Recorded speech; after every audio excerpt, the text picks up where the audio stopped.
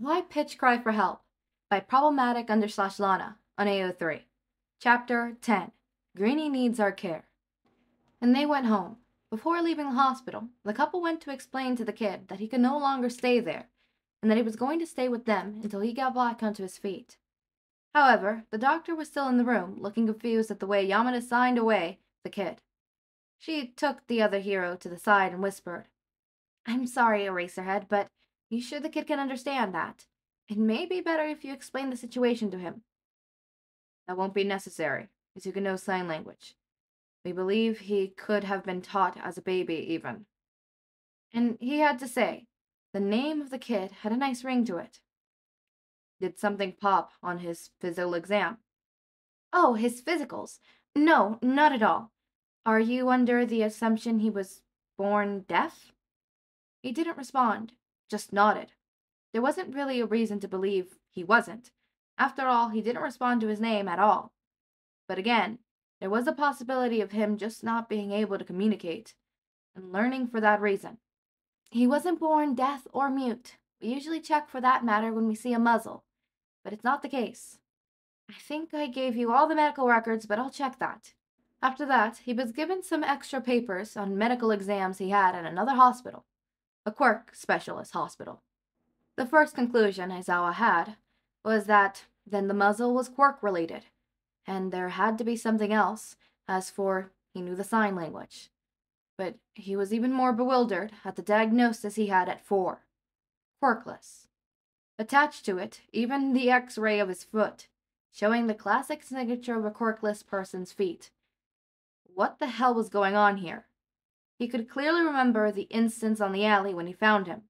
There was no physical evidence of this quirk, but the hero would bet his hero license that the kid had one, and that he had erased it on the alley. He promised himself to talk to Hizashi about what was really happening with Izuku, but at another time. The way the kid was looking at the loud hero was enough to not even be able to be mad at him for not talking about bringing him home before. He really needed a calm and safe place to stay at. And truth be told, if the quirkless status was in his record, he was inevitably going to have a hard time in the foster system. The blonde had excused himself, saying that that way the medical bill would be footed by his insurance, and that he just needed a place to get his health back. Aizawa thought it could have been two things. One, he saw how Aizawa got attached to him. Two, he saw the kid in a muzzle and wanted to give the help he wasn't given. He hoped it was the first one. They had the space and the money to help the kid, and they had barely talked about kids. This would be a nice test to see if they would be up to adopting in the future. He just didn't want to admit that the idea of fostering this specific child made his heart tingle. The feeling only grew a little at the sight of the kid shyly grabbing the blonde's hand to get off the stretcher. The way home was silent, and when they got there, the kid was noticeably anxious his hands pulled in his hair ever so slightly. Making the first step, Yamada entered first, turning on all the lights and giving the kid a reassuring smile for him to walk inside at his own time. How does dinner sound, little listener? He added, singing and speaking at the same time, something he usually did when at home. The kid waited a minute or so, taking in the view of the place, then turning to Aizawa, who he was obviously more comfortable with. He didn't seem to find whatever he was looking for, because he looked again at the blonde, and then at his shoes. Aizawa took that as an opportunity to try something. Even if you're not hungry, you should eat a bit before going to bed, kiddo. His husband opened his mouth to say something, but stopped when he saw the kids tear his eyes away from the floor to look at Aizawa. He then nodded slowly. So, it was true. He wasn't deaf. Mic put two and two together and looked at his husband as if he grew a third eye. Well, technically, he did tell him Izuku was deaf, but to his defense, he actually thought he was when he told him. Aizawa stayed at the sofa with little Izuku while Mic made dinner. They both know how to cook, but with the dietary restrictions the kid had, it was better to leave it to him, who was much more experienced in the kitchen. They settled in one of the two lovebird sofas in the living room. He helped the kid get up and surrounded him with chunky pillows to help him be more comfortable due to his ribs. But the kid truly showed no signs of being in pain. Aizawa hoped it was because of the painkillers, not because of a built up pain tolerance. They ate dinner on the coffee table on a futon. Yamada made some simple soup and broth with some cooked vegetables that would be easy for the kid to digest, and then he added some red meat and noodles, not wanting to make the kid feel as if they were eating something better. He also put a white rice bowl in the middle of the table to see if the kid would want some. The second they started eating, the kid tried getting up, but Aizawa put a hand on his shoulder to indicate to him sitting back down. At least try some. If your stomach is too upset, we can sleep after three bites. He said, maintaining his voice firm yet soft. He wanted the kid to know that he was trying things before refusing them, but that no one would force him into anything. The kid sat back down, looking confused at his plate, and then at both of them. If there's something you don't like in it, you can take it out. Mic tried talking, needing to experience firsthand the kid responding to sounds. I eat now, the kid signed.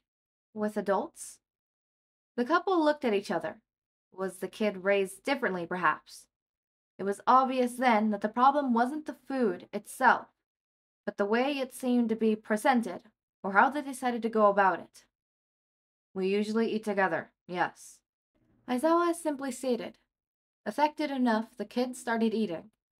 No one had the heart to say anything, for the kid was making an absolute mess of the table and the floor. Soup going into the rice, his clothes, hell, even one of the cats seemed to have a stain. He was doing his best, but he didn't want any help, and his hands were heavily shaking, and the way he used the spoon proved to not be efficient.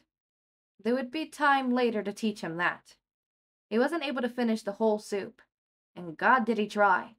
His poor kid was absolutely stuffed, with only half a bowl and no rice. Aizawa was warned that the kid would only be able to stomach a little, as he was used to eating little to nothing. But that didn't help the feeling that he was letting him starve through the night. Hizashi had absolute heart eyes when he cleaned Izuku's mouth with a napkin. The kid just let him do whatever, kind of trying to hide the fact that he was cleaning the floor with his t shirt when they were taking the dishes to the kitchen. They helped him take a bath, but at that point the food had settled and he was half asleep. So much so that he let them try to wash his hair as far as possible. It would take a lot of work to get rid of the matting, but for now they were happy enough with him not sticking the whole house. They would have to try again tomorrow with the kid a little more conscious. Funny enough, he was completely asleep by the time they slowly patted him down with the softest towel they had, making sure not to hit any delicate spots or sensible areas. Yamada almost cried at the sight of the kid's back, a huge burn scar going from shoulder to shoulder. It was healed, but horrible to see in a kid nonetheless. Sadly, because of the emergency situation, they didn't have a room ready for the kid, and they didn't want to put any kind of pressure by making him sleep with them, so they settled in all of them sleeping in the living room with lots of blankets and pillows. And tomorrow they would have the time to put together a room. At the end of the night, early morning, really, the couple made a small nest of blankets and pillows for the already conscious kid to rest in. Aizawa thought that the frown in his sleep made him look older, and Yamada thought that it didn't really par up well with his baby fat he still had in his cheeks. But even with a heavy heart, they were able to fall asleep too, in the comfort of finally knowing that the kid had a good place to stay in, and people that would do anything to care for him. Alright, my biggest note that I want to talk about is Izuku's eating uh, restrictions. Specifically, the fact that Izuku's eating little, right? After going so long of eating, you know, little foods, right? You can't stomach big stuff, right? um, you slowly have to up your intake, and this could take years till you're finally back to normal, or one year, depending on how long or how bad that habit was.